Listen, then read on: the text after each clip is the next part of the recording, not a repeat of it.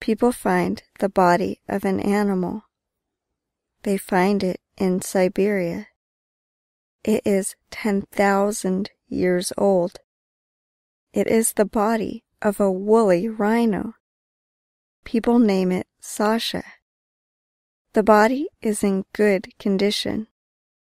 It has wool, a face, one eye, an ear, and teeth.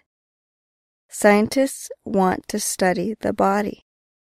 They want to get its DNA. The body was in permafrost. Permafrost is a type of ground. This type of ground is always frozen. This is why the body was still fresh.